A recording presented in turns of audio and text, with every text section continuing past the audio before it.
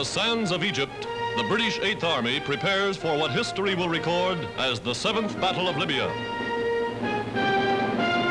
Planning the action, General Montgomery and Air Vice Marshal Cunningham. For weeks, the British prepared with a thoroughness bred of past experience. For weeks, vast supplies and equipment have poured in from England and America. And as Britain's Eighth Army grows, is reinforced, not a supply ship reaches Rommel. So completely are Allied submarines and planes dominating the Mediterranean. Then, in the black hours before dawn, Montgomery gave the order to advance. Guns were first to blaze into action.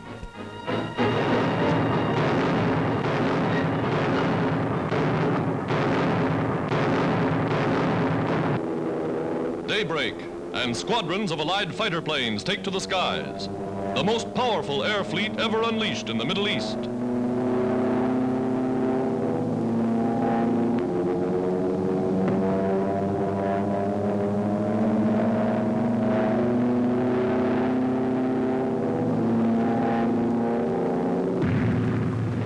Montgomery's armored might begins to roll. The British offensive is on in force. From the sky, American and RAF bombers blast the enemy across a 40-mile front, unleashing tons of high explosive on Rommel's surprised and reeling Africa Korps.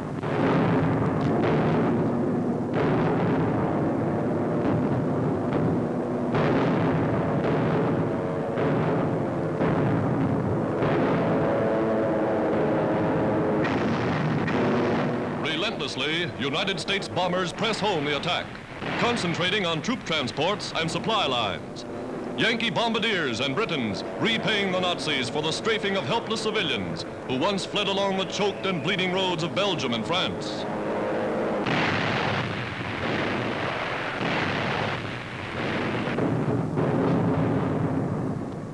In the desert, new tank destroyers, far outranging the Nazi guns, smash Rommel's vaunted ring of steel.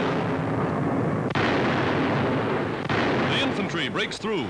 Scots of the reformed 51st Highlanders, shattered in Europe, now avenging their comrades. Tanks, guns, men, Canadians, British, Anzacs, slashing the Nazi forces to ribbons.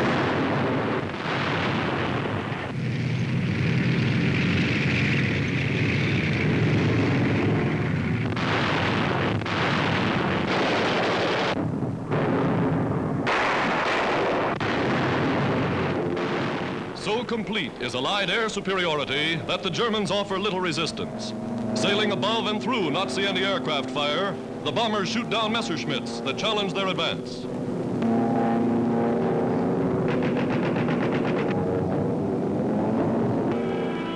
With devastating accuracy, bombs made in the USA spread havoc and destruction, take terrific toll of the shattered Nazi war machine. Outflanked, outgunned, outmaneuvered.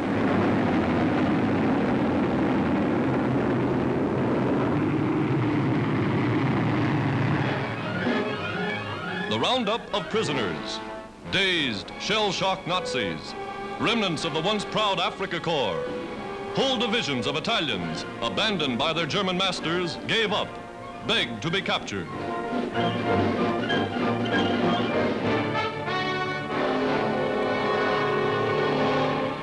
Pressing forward more than 35 miles a day, the British advance becomes the rout of Rommel. Advancing past battered tanks where so-called Nazi supermen died in frenzied flight.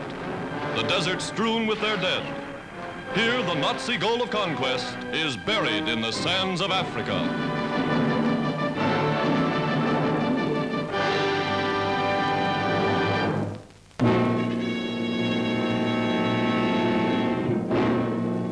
Gray dawn off the French North African port of Oran brings United Nations the best news yet. A gigantic American invasion force is landing. A second front is at hand.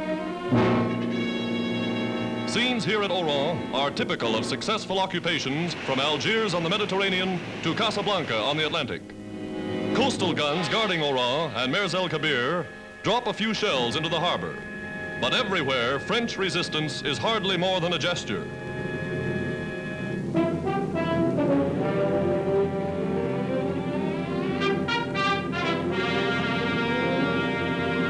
From transports standing offshore United States troops observe the action, await the order to go in. They go in armored snub-nosed assault boats, well protected from fire.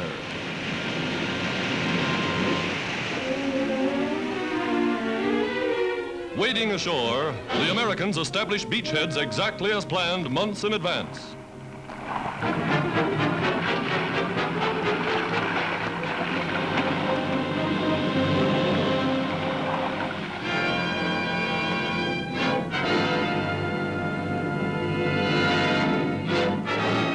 Supplies and equipment follow with a miracle of coordination and efficiency. Everything is carried out according to schedule.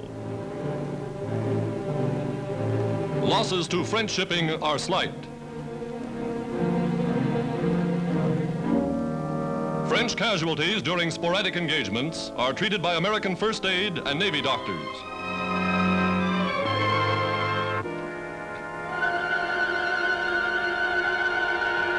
The American entry into the historic city of Oran is a memorable event. For in seizing control of France's strategic North African ports, the United States is striking the first blow toward bringing about the collapse of the Axis.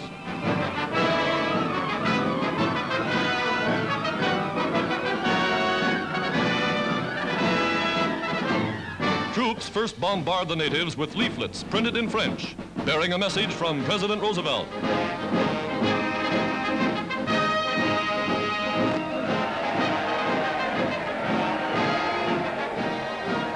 Instructed to conduct themselves courteously toward the populace, the Army takes over without incident.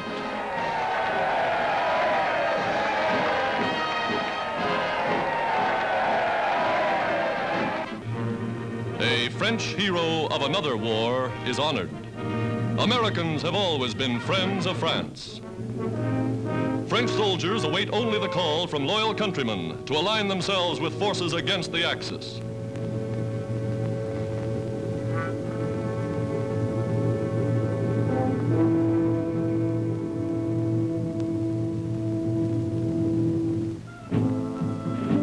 Natives of Oran look with interest upon the Americans of whom they've heard so much.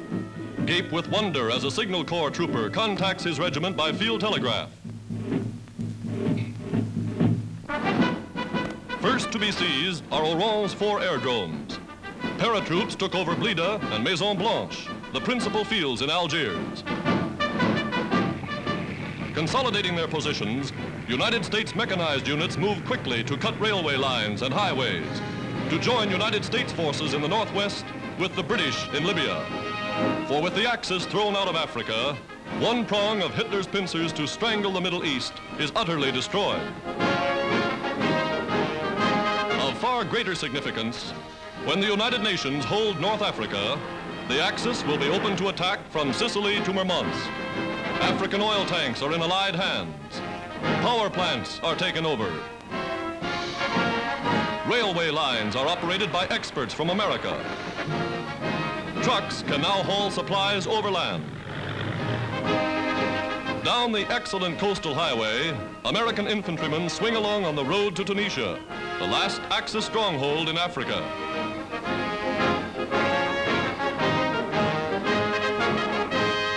Opening phase of what military experts regard as a second front of major importance the American occupation of North Africa may well prove to be the turning point of the war.